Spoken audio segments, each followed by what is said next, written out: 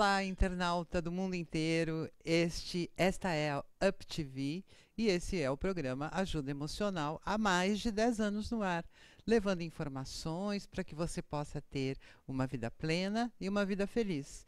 É, o programa Ajuda Emocional, ele traz a cada, cada nova edição um tema diferente. É, então, nós estamos aqui para falar de problemas emocionais, apontar caminhos para que você possa ter, como eu falei, uma vida plena e feliz. Eu sou Olga Tessari, psicóloga há mais de, 20, de 30, 30 anos e mais um pouco atuando na área como psicóloga, escritora, palestrante. E se você quer participar do programa hoje, enviar a sua dúvida, a sua pergunta, por favor, entre no Facebook da UpTV. UpTV emissora, tá lá na minha página no Facebook o link para você assistir ao vivo e para você poder colocar sua dúvida, sua pergunta sobre o tema de hoje, que é um tema muito legal. Né? O tema de hoje é ciúme. Você sofre com ciúme? Você tem problemas em relação ao ciúme? Eu estou procurando aqui o, o, que, o nosso tema de hoje. E se você sofre com ciúme, você tem problemas com alguma pessoa ciumenta, fica ligadinho aí, faça sua pergunta, preste atenção, porque agora eu vou colocar para você todo o perfil da pessoa que sofre com o seu ciúme, né? Então, por que, que ela, ela tem ciúme? De onde vem esse ciúme? O que causa esse ciúme? Tudo isso a gente vai conversar aqui. E, inclusive, né, os sintomas da pessoa ciumenta é porque muitas vezes a pessoa ciumenta, ela disfarça muito bem. É, e porque ela disfarça muito bem, nem sempre você consegue identificar. É, então, estamos carregando aqui o material para a gente poder falar. Enquanto isso, escreva aí a sua opinião. Você tem alguma pergunta? Você tem alguma dúvida? Você quer fazer alguma sugestão de novos temas para o programa? Por favor, escreva para a gente, né? E aí, o que causa o ciúme? Você provavelmente já deve ter conhecido uma pessoa ciumenta. Né? Você já deve ter visto essa pessoa no teu dia a dia, você já deve ter convivido com essa pessoa ciumenta. Né? E aí eu pergunto para você, e aí, como é que foi essa relação com a pessoa ciumenta? Né? Foi fácil? Foi difícil? Você conseguiu se relacionar bem com ela?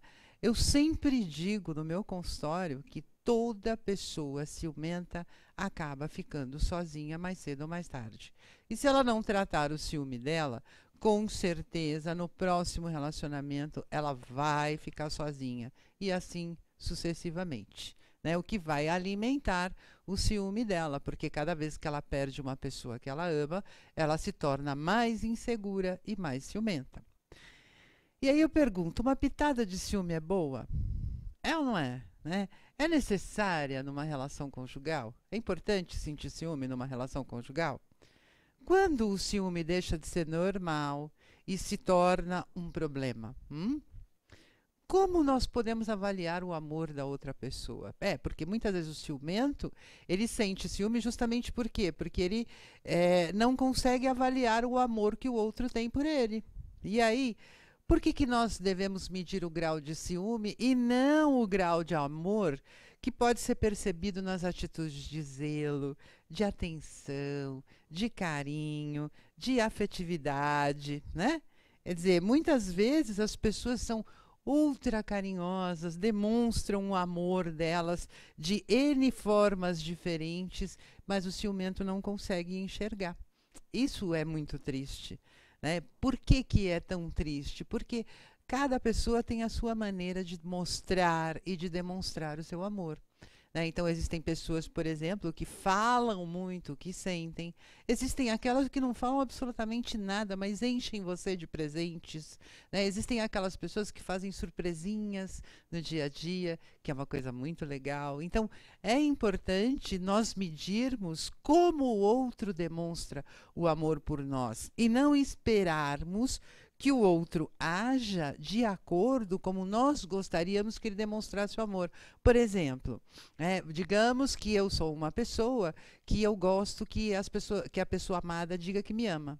Né? Então eu quero que ela fale, eu te amo, eu te amo, eu te amo. Se ela não me diz eu me amo, eu te amo, desculpe, é, eu vou acreditar que ela não me ama. Só que ela me demonstra o amor de N formas, né? Ela lava a louça para mim, ela leva o café na, na cama, ela faz mil surpresinhas, mas isso para mim, ó, não interessa, porque o que me interessa mesmo é ela me dizer eu te amo. Olha que triste, né? Então nós temos que aceitar o amor do outro da maneira como o outro nos demonstra e não do jeito que nós gostaríamos que essa pessoa nos demonstrasse o seu amor, não é verdade? Então, é, o que, que é o ciúme? Vamos falar, vamos começar agora a falar realmente do ciúme. É um conjunto de emoções causado pela sensação de alguma ameaça. O ciumento sempre acha, sempre se sente ameaçado e acha que vai perder a pessoa amada. Por isso que ele sente ciúme de tudo quanto é lugar. Né? Por exemplo, eu tive um caso há pouco tempo atrás de uma mulher que veio para o consultório e disse assim: Eu não aguento mais o meu marido. Todos os lugares que nós vamos, ele olha para as mulheres que passam na frente dele. Eu falei: É? E daí? A coisa mais normal e natural do mundo é a gente olhar para aquilo que é belo. Então, se passam mulheres bonitas e interessantes na frente dele, ele vai virar cara? Não, ele tem que olhar mesmo. Assim como nós mulheres também olhamos os homens bonitos quando eles passam, só que nós somos um pouquinho mais discretas. Né? Nós olhamos de lado, a gente disfarça, passa a mão no cabelo, né? para o nosso parceiro não perceber que nós estamos olhando. Só que o homem ele é mais despachado, ele olha mesmo. E daí? Qual é o problema de olhar uma mulher bonita? Qual é o problema de ele olhar a mulher bonita e dizer para você, nossa, que mulher bonita?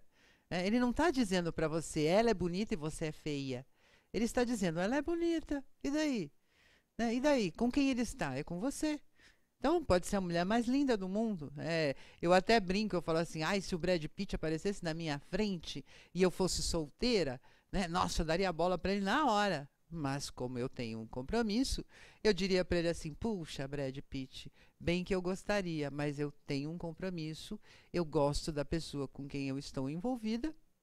Que pena, né? Fica para uma próxima vez, quem sabe a gente se encontre no momento se eu estiver sozinha, eu vou pensar sobre o assunto. É assim que funciona, gente.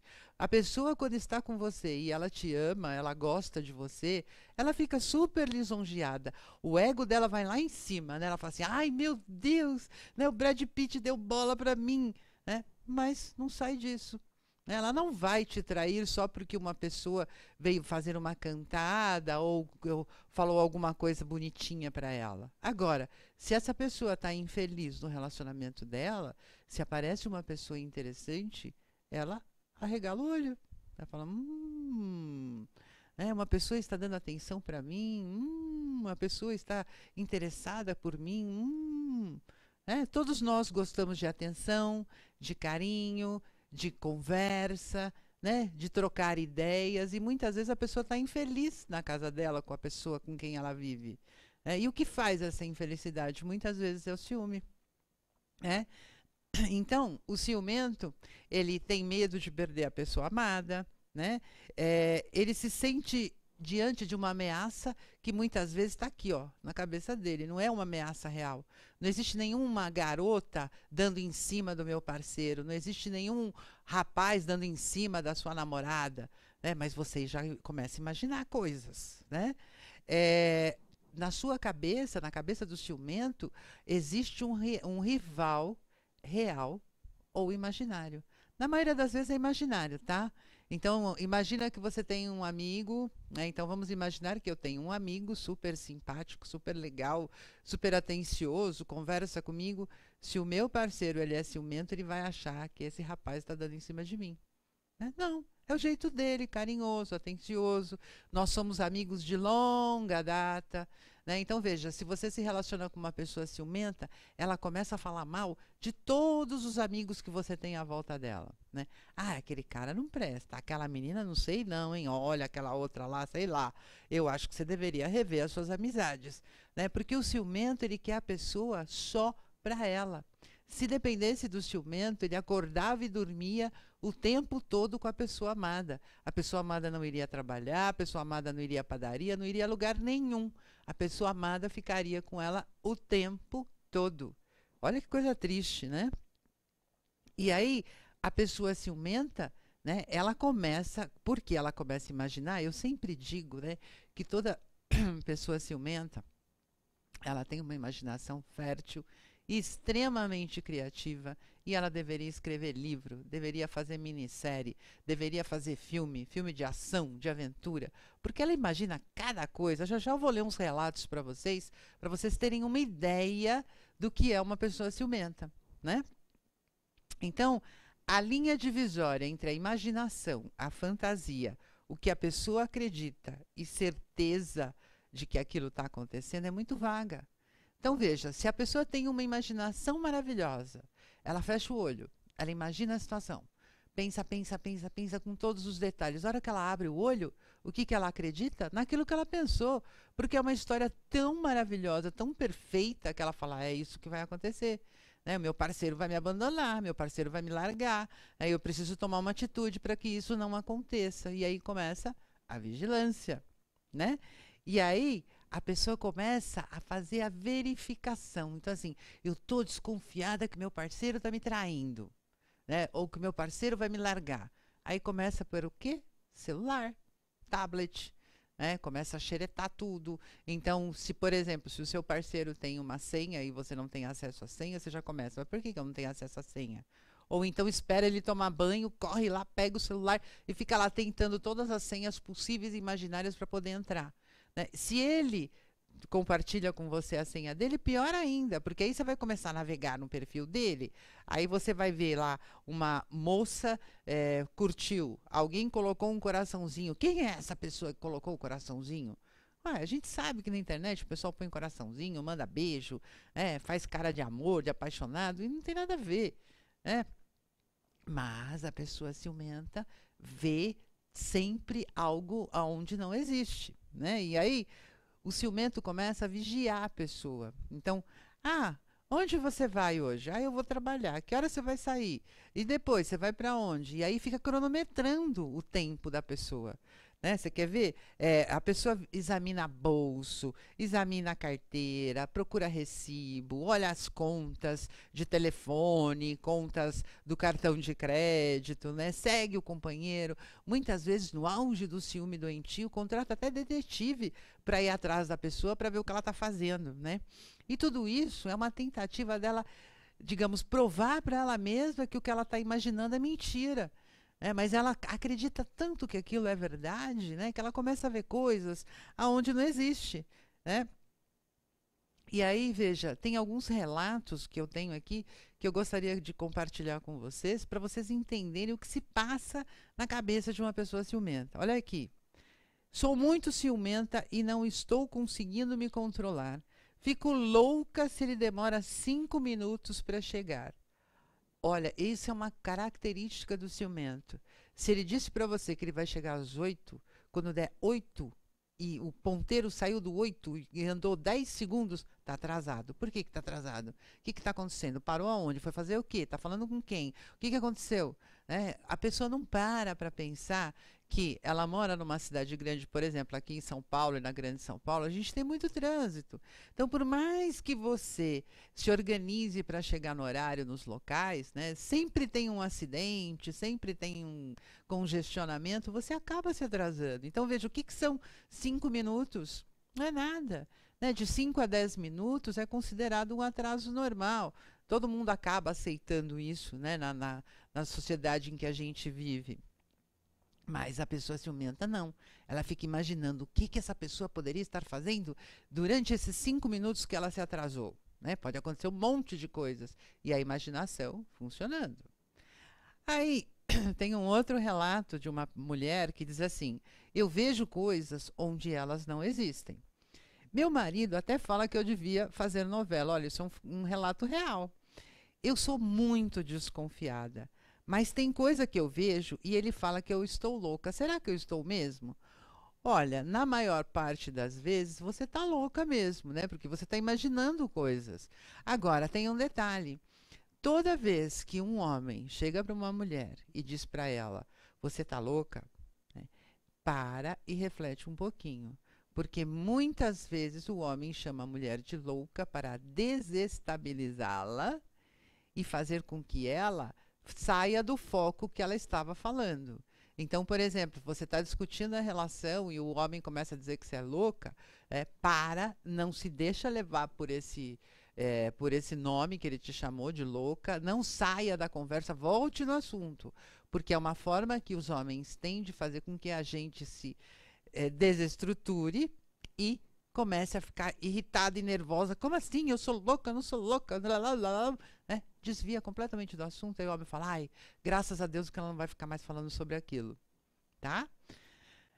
Tem um outro relato aqui interessante. Eu queria ajuda para ver se é verdade dele, eh, se ele já mentiu para mim. Isso, é, são pessoas que me escrevem, tá?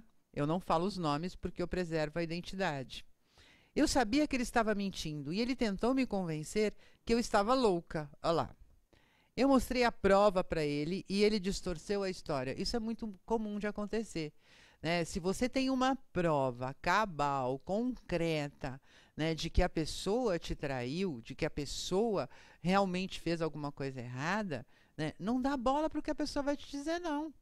É, por exemplo, se você pagou um detetive, foi lá, tirou foto, viu ele beijando uma pessoa, ué, como que ele vai inventar? Ah, não, ela me agarrou. Ah, não. Para com isso, né, gente? Quer dizer, se, ah, se você chegar a ponto de ter uma prova concreta, concreta, gente, não é imaginação. É, porque na imaginação eu posso imaginar qualquer coisa, mas o importante é você ter provas concretas e reais de que a pessoa está fazendo você ficar ciumento, ficar inseguro na sua relação. Né? E aí sim, você deixa ela falar, deixa ela falar, pode chamar de louca, etc. Entra por aqui, sai por aqui, ok? Ó, eu sei que meus filmes estão passando dos limites, eu tento controlar, mas chega em alguns momentos eu explodo. Explodir para quê? É, a pessoa ciumenta, ela acaba explodindo, né? E, e, acaba jogando na cara da pessoa um monte de bobagens. Por exemplo, né? os homens gostam de se reunir, de conversar, de jogar conversa fora, de falar de time, de falar de carro, de falar de política. Eles gostam, assim como nós mulheres também gostamos de conversar entre nós. É, e qual é o momento em que esses homens se reúnem para conversar? Quando eles vão para o bar, para o boteco. Sabe aquele boteco fedido da esquina? É, que só tem macho, que não tem mulher nenhuma lá. Pois é, eles gostam de sentar lá no botequinho e ficar lá conversando e jogando conversa fora. E aí, muitas mulheres ficam enciumadas, né? Ah, ele fica lá no boteco conversando com aqueles homens. Ah, te, garanto que aparece mulher, garanto que eles ficam falando de mulher. Ou então dizem assim, as mulheres dizem assim: é, ele gosta mais do bar, dos amigos do que de mim. Gente, não tem nada a ver. É, ele curte aquele momento. Qual o problema dele estar tá com a turma dele? Você, mulher, não fica com a sua turma, com a sua turma de amigas? É, você, quantas horas você fica lá no salão conversando com as suas amigas? Ou quando elas vão te visitar na sua casa, vocês se encontram em algum lugar, no shopping, para tomar um café? Pois é. É. Ah, mas é, nós mulheres fazemos isso durante o horário comercial. Né? A gente nunca deixa o nosso homem esperando por nós. Tá, e por que, que você tem que ficar esperando o seu homem? Se ele disse para você, olha, vou passar lá no boteco e encontrar meus amigos para conversar, por que você não pode por exemplo, é, cuidar da sua vida, passar um creme no cabelo, visitar uma amiga, sair com uma amiga para tomar um sorvete. Por que não? Enquanto ele está lá com a turma dele, você está com a sua turma. E daí? Né? Não quer dizer que ele está te traindo. Agora, olha esse relato. Ele é um pouco longo, mas é interessante para você ver como é a cabeça de uma pessoa ciumenta. Essa pessoa está dizendo aqui: Eu sempre tive ciúme da minha mãe, da minha irmã e de quem me amasse. Eu namoro há dois anos, tento me controlar, mas com o tempo passando, às vezes alguém dava em cima dele, seja nas redes sociais ou mesmo pessoalmente, e eu ficava sabendo. O ciúme começou a aumentar. É assim que começa, gente. Se, sempre vai ter alguma mulher dando em cima do seu parceiro. Sempre vai ter um homem dando em cima da sua parceira, como eu falei agora há pouco. E daí? Né? O ciúme começou a aumentar. Brigamos várias vezes por ciúme. E chegou num ponto que eu chego a ter raiva e ódio dele quando acontece algo, mesmo amando ele do mesmo jeito. Nossa última briga foi porque ele participou de um churrasco da turma da faculdade. E eu não pude ir porque eu estava trabalhando. Esse é um grande problema. Né? E lembra que eu falei que o ciumento quer estar junto com a pessoa amada o tempo todo? Então, neste caso, ela estava trabalhando, ela não tinha como largar o trabalho para ir no churrasco para vigiar o namorado. Né? E aí ele foi, óbvio, era da turma dele, da faculdade dele. Vamos ver o que aconteceu. Fiquei irritada, porque a hora passava e ele não ia para minha casa me ver. Ela deve ter saído do trabalho, foi para casa, ficou esperando o namorado chegar. E a minha casa fica próxima da faculdade, quer dizer, era dar um pulinho, sair da faculdade para a casa dela. Ela achava que três horas era o suficiente para ele ficar no churrasco conversando e se divertindo com os colegas. Ou seja, no conceito dela, três horas era o suficiente. Passou de três horas, tem que ir embora para casa. É. Só que ele está lá no churrasco. De repente, três horas passou muito rápido. De repente, ele ainda está se divertindo, está conversando, está brincando. Está uma situação muito bacana. Qual o problema dele continuar lá por quatro, cinco, seis horas? Né? Pois bem, comecei a ligar, me alterei e briguei com ele por telefone mesmo. Pois é, estragou a festa dele, né? Comecei a imaginar que ele estava sem camisa, já que naquele dia estava muito calor. E o fato de outras garotas olharem assim para ele me deixou furiosa. Olha a imaginação. Né? Está calor, ele vai tirar a camisa porque está calor, as meninas vão ficar olhando para o físico dele. Ah, né? Olha só, e daí que ele vai tirar a camisa? Será que é o único rapaz que vai tirar a camisa ali? De repente todos os meninos resolvem tirar a camisa porque está muito calor? E daí? Né? Olha só o que aconteceu depois. No mesmo dia, quando nós nos encontramos, depois que ele saiu do churrasco, estávamos bem, né? Porque eles brigaram enquanto ele estava lá no churrasco. Ela perguntou se ele tinha ficado sem camisa. E ele disse que não. Ótimo, acreditei, pois eu sempre confiei nele. No dia seguinte, estávamos na casa dele e ele me pediu para ir até o carro dele pegar uma calça que ele tinha deixado lá. Eu fui, mas no caminho pensei, olha a mente do ciumento. O que que a calça dele estava fazendo ali? Ué, perguntasse para ele, por que que a calça ficou dentro do carro, né? Pois ele estava de bermuda quando ele chegou do churrasco. Então veja, ele tinha uma calça dentro do carro, ele chegou para encontrar com ela no dia anterior de bermuda. Mas ele tinha que estar de calças. Isso é o que ela acha. Já que foi direto do serviço para o churrasco e ele não pode trabalhar de bermuda. Onde será que ele se trocou? Olha o que a mulher fica pensando. Onde ele se trocou? É, ele estava trabalhando de calça comprida. Ele não pode trabalhar de bermuda. Ele estava na festa de bermuda. Como assim? Onde ele se trocou? E aí eu perguntei. Ela disse: Por acaso você se trocou no carro? Ele disse: Sim. Mas onde? Ué, dentro do carro. E onde estava o carro? Estacionado. E eu isso eu sei, eu quero saber onde o carro estava estacionado. Olha que coisa. Aí eu desconfiei que ele poderia ter se trocado no estacionamento da faculdade. Gente, nunca aconteceu de você ter que se trocar dentro do carro? Eu já me troquei várias vezes. É, e não é, por, não é porque eu estou me trocando dentro do carro que tem gente olhando em volta. É óbvio que você vai se trocar de uma forma que ninguém veja o que você está fazendo. Né? Porque assim não precisa trocar dentro do carro, dá um trabalho se trocar dentro do carro. É mais fácil sair do carro e se vestir lá fora de, do carro do que dentro do carro. Mas olha a mente dela. Né? Aí ela falou assim: é, não foi na faculdade né, que você se trocou? Ele disse: foi sim mas não tinha ninguém no estacionamento da faculdade. Ele falou a verdade. Né? Ele também não é desses caras que fica pelado na frente de todo mundo, né? Olha a reação dela. Isso me deixou mais do que irritada. Como ele pode fazer isso? Se fosse o contrário, eu tenho certeza que eu ouviria um monte de reclamações. Será? Será que ele reclamaria dessa forma? Ou será que ele diria assim: tá, você se trocou no estacionamento, alguém viu? Você tomou cuidado para que ninguém visse você sem roupa ou trocando a roupa? Né, que é o normal. Pois bem, ela continua. Eu tentei me acalmar, não queria brigar com ele de novo. Apenas disse que não gostei do fato nem um pouco e pronto. Botou uma pedra em cima. Mentira, gente, olha lá. Passamos uma semana tranquila, até ontem. Quando eu vi as fotos do tal churrasco, pronto, aí o problema começou tudo de novo. Eu vi que ele estava sem camisa e ele me disse que não estava sem camisa. Eu tentei me controlar, Liguei para ele chorando e disse: por quê? Eu não, não, não o maltratei e nem gritei. Eu queria conversar, mas ele se irritou comigo e desligou na minha cara. Né? Eu insisti e nada. Fui até a casa dele, ele não queria falar comigo. Então comecei a provocá-lo. Ele se irritou mais ainda e aí eu voltei para minha casa. E agora ele fica dizendo que tudo isso aconteceu por causa do meu ciúme que é doentio. A culpa é só minha? Gente, de quem é a culpa? O que, que esse rapaz fez de errado? Era um dia de calor, né? ele estava trabalhando, ele estava de calça, ele quis colocar uma bermuda, ele se trocou no estacionamento, de repente estava quente, ele tirou a camisa e por que, que ele mentiu para ela? Aí uma característica do, de quem convive com ciumento.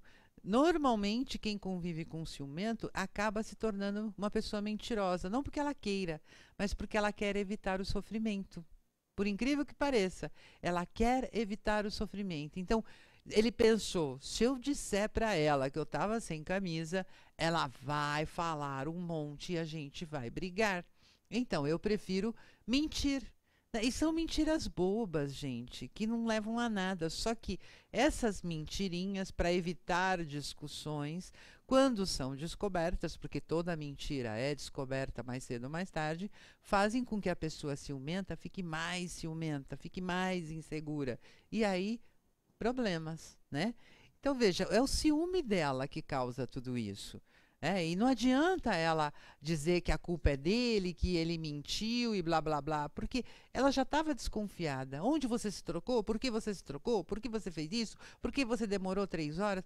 Gente, eu sempre digo: quem ama quer ver a pessoa amada feliz.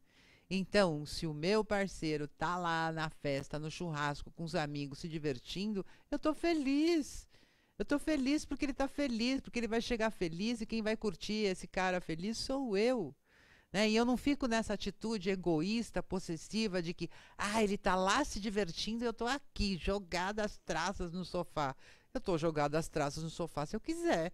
Se eu realmente não quiser fazer nada, então a culpa é minha, então eu não posso reclamar. Né? Então, se eu não posso estar na festa com ele, ou se eu não posso fazer outra coisa enquanto ele está se divertindo, a culpa é minha, não é dele. Né? Ele não pode se divertir sem a minha presença, porque eu tenho que estar junto para ficar vigiando. E, gente, é horrível você ir numa reunião social com uma pessoa ciumenta. Porque ela fica vigiando você o tempo todo. O que, é que você está olhando para lá? Olha para cá. Ah, vamos sentar ali. Ah, não quero ver você conversando com fulana. Ah, não quero isso. A pessoa ciumenta cria um monte de regras. E aí, muitas vezes, a pessoa que está junto com a pessoa ciumenta resolve nem sair. É, eu tive um relato de um paciente que disse para mim assim: Olha, faz anos que eu não boto o pé na rua. Eu só boto o pé na rua para trabalhar, para ir no mercado com ela, para fazer compra, para visitar a família dela. Nem na minha família eu vou porque ela tem ciúme da, das minhas sobrinhas. Olha que absurdo.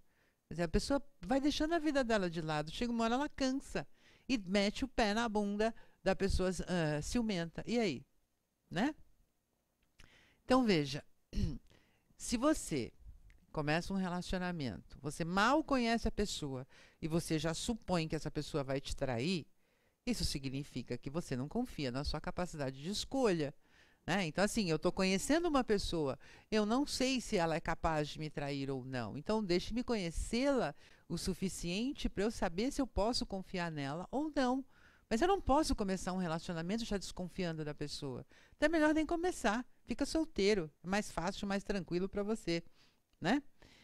Outra coisa, né, que os ciumentos costumam fazer muito é, eles vão abrindo mão das coisas da vida dele. Então, é muito comum o ciumento para de trabalhar, para de estudar, para de sair com os amigos, né, quer viver o tempo todo com a pessoa amada.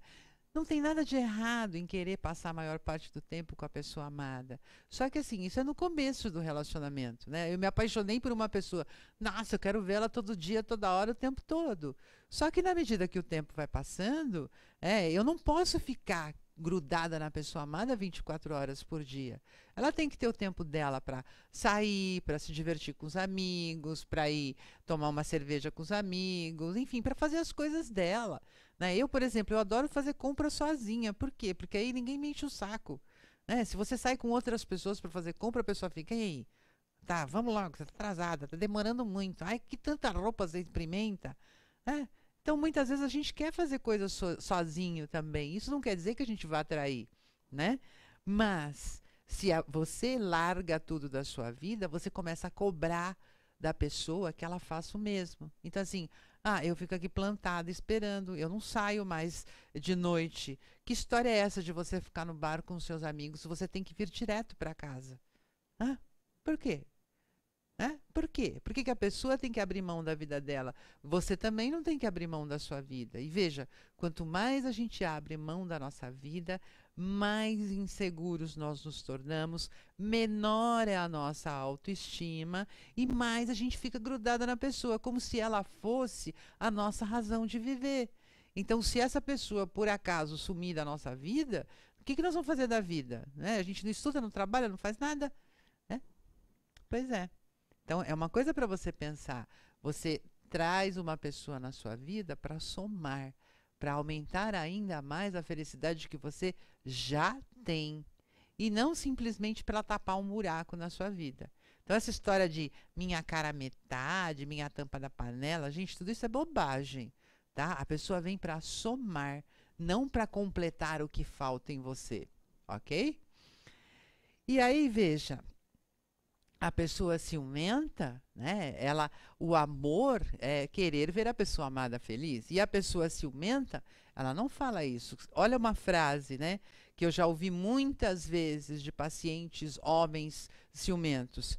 Prefiro ver minha mulher morta do que ser traído por ela. Olha que absurdo. Então você não ama a sua mulher. Né? Porque se você fala uma coisa dessas, poxa, se ela for te trair, é porque você não está mais satisfazendo a sua esposa. E não é só sexualmente, não, gente. Homem acha que porque tem que satisfazer sexualmente está tudo certo. Não. De repente você não dá mais atenção, você não dá mais carinho. É muito comum no início de um relacionamento as pessoas né, fazerem de tudo para agradar. Né? Então, o homem, principalmente os amigos dele, falam assim para ele: ah, faz isso que ela vai cair de quatro por você, faz aquilo, puxa a porta do carro para ela, puxa a cadeira para ela sentar, né? leva flores para ela. E de repente o cara é um baita de um ogro não faz nada disso no dia a dia, mas ele fez tudo isso, a mulher se apaixonou, e aí ele para de fazer isso, aí ele revela o verdadeiro ogro que ele é, né? Ela começa a ficar chateada com ele, e aí de repente um belo dia alguém, né, ela se encanta por alguém lá fora. De quem é a culpa? É sua também. Né? Ela não deveria fazer isso, ela poderia até se encantar por alguém, mas o correto seria: marido, eu estou que querendo me envolver com alguém. Então vamos repensar o nosso relacionamento, vamos ver se realmente a gente pode consertar o nosso relacionamento ou terminar de vez para eu poder estar livre para sair com outra pessoa. Essa seria a postura correta, mas muita gente não faz isso. Né? Primeiro vai lá, experimenta o outro, sai com o outro, vê se vai dar certo para depois terminar o relacionamento. Está errado, gente. Traição não é legal.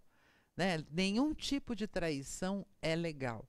Né? Seja na relação familiar, seja na relação afetiva, seja na relação entre amigos, enfim, traição não é legal. É melhor você abrir o jogo e falar a verdade do que você, digamos, mais tarde a pessoa descobrir a sua traição né? Porque na maior parte das vezes as pessoas não conseguem perdoar uma traição, tá? Mas voltando aqui, né? Nos crimes passionais que nós vemos, é muito comum isso acontecer. Ah, ela não quer ficar comigo, então não vai ficar com mais ninguém, né? E pá, e mata a mulher ou mata o marido, né? Para quê? É, isso não é amor, nunca foi nem nunca será. É porque se você ama a pessoa, é claro, se a pessoa não quer mais nada com você, você vai ficar muito triste, você vai chorar, você vai passar por um período de luto. Mas você quer ver ela feliz. Né? Ah, que ela seja feliz com outra pessoa, já que eu, eu não consegui fazê-la feliz. E aí, veja, eu estou falando tudo isso, mas assim, se você quer saber muito mais sobre o assunto, eu indico para você o meu livro. Dirija a sua vida. Não, Amor versus Dor, desculpe. Amor versus Dor. Este é um livro que é um verdadeiro manual, gente. Ele fala desde o início. Então, você está solteiro, você está pensando em se relacionar com alguém, como encontrar a pessoa correta, né? quais são os atributos que você deve buscar, o que, que você deve observar na pessoa para você ver se ela corresponde ao que você quer ou não. E se você já se relaciona com alguém, como é que você faz para manter esse relacionamento pela vida fora? Né? Como é que você lida com a insegurança do seu parceiro, com o seu ciúme? Como é que você evita uma traição? Né? E se por acaso ela acontecer, como é que você supera essa traição? Né? Como é que você age para ter uma vida plena e feliz do lado da pessoa que você ama até que a morte o separe? Então, isso aqui é um verdadeiro manual para você ter do seu lado, para você consultar. Então, se você tiver interesse nesse livro, que tem tudo a ver com o tema que eu estou falando hoje, entre em contato comigo através do meu site olgatessari.com. O livro está à venda exclusivamente lá no site. Tá? Entra lá, o livro é entregue em qualquer lugar do planeta onde passe um correio. Tá? Então, entra lá para você ter mais informações e saber como adquirir o livro. E tem esse outro livro também, né, para os medrosos, ciumentos de plantão, que se chama Dirija a sua vida sem medo. Né? Porque normalmente a pessoa ciumenta, ela não vive a vida dela, ela vive a vida do outro. E quando você vive a vida do outro, você cria um monte de medos, como o medo de perder a pessoa amada também. Né? E a, o medo paralisa, o medo faz com que você não tenha uma vida plena e feliz. Então, é também um manual que orienta você, explica como agir para superar os seus medos, a sua ansiedade, as suas inseguranças. Para quê? Para que você possa ter uma vida plena e feliz e realmente encontrar o amor né? E que você possa amar e ser amado. Gente, amar e ser amado, os dois livros estão à venda lá no meu site, ok? É só entrar lá, olgatessari.com. Aliás, no meu site tem muita informação, tem muitos vídeos sobre estes e outros assuntos. Então é só entrar lá em olgatessari.com e procurar vídeos, textos, tem teste, né, para ver se você é, é, tá, vai ser traído ou não para os ciumentos. É um prato cheio esse livro, esse, esse site, né, esse teste. Enfim, voltando aqui ao nosso tema né, de ciúme, é, em geral, a pessoa ciumenta, ela diz que ama, mas ela não ama. Né? Ela quer ter a posse. Então, ela quer que a pessoa amada seja como um objeto. Sabe quando você tem um objeto, um bibelô qualquer, alguma coisa que você gosta de montão? Né? Então, por exemplo, sei lá, você tem um bonequinho, uma bonequinha ou um vasinho, enfim, um objeto que você deixa lá na estante e você não quer que ninguém mexa. Né? Então, fica lá. A hora que você quer, você vai lá, você pega, você mexe, você brinca com o objeto. Quando você não quer mais, você coloca na estante. É exatamente assim que o ciumento age. Ele quer a pessoa à disposição dele o tempo todo. E quando a pessoa não está à disposição dele, a pessoa está dormindo ou está tomando banho. Né? Ou está trabalhando, de preferência sozinho numa sala fechada, sem contato com ninguém. Pois é. Enfim, há vários tipos de pessoas ciumentas, né? Então existem aquelas pessoas ciumentas que despertam a curiosidade do parceiro para outra pessoa. Então, por exemplo, né? Imagina que eu tô aqui, que eu eu tô com meu parceiro aqui e o meu parceiro de repente olha para o lado de lá. Ele está olhando, sei lá, no infinito. Sabe quando a gente para o olho e olha para o infinito? Aí eu olho para onde ele está olhando e eu vejo uma garota ali, na direção onde ele está olhando. Ele está olhando além da garota, ele nem viu a garota. Aí eu falo para ele: bonita garota, né? Olha, você está olhando para ela por quê? Aí eu desperto a atenção dele para olhar para a garota. E aí eu fico brava porque ele fica olhando para a garota que eu chamei a atenção para ele olhar. Olha que absurdo. Né? Deixa ele olhar onde ele quiser. E se você está incomodada que ele não para de olhar para aquela direção onde tem uma garota, né? chama a atenção dele para olhar para outro lugar. Pronto. Não precisa destacar. Olha que menina bonita. Ah, você está olhando para aquela gostosona, né? Pois é. Existe aquela pessoa, né, ciumenta que vê traição em tudo. Então, se o teu parceiro, a tua parceira mandou um beijo para alguém, ah, você já está de casinho com essa pessoa. Ah, ninguém me tira isso da cabeça. Como assim você manda beijo pro teu colega de trabalho, para sua colega de trabalho? É, que história é essa, né? Você está sempre achando que a pessoa vai te trair. Então, assim, se ela passou perfume, por que você passou perfume? Você vai sair com alguém? Né? De repente é um hábito da pessoa passar perfume toda vez que ela toma banho, toda vez que ela vai sair. Não, mas você trocou de perfume por quê? De onde, de onde veio esse perfume? Às vezes a pessoa passou em algum lugar, né? Quando a gente vai no shopping, não tem aquelas meninas com aquelas fitinhas para você cheirar perfume. De repente, se alguém mostrou um perfume, de repente ele ganhou um perfume de alguém, às vezes até de um colega, de amigo secreto, sei lá o quê. Não, como assim? Você está usando outro tipo de perfume? Quem te deu só pode ser uma mulher. Só pode ser uma mulher.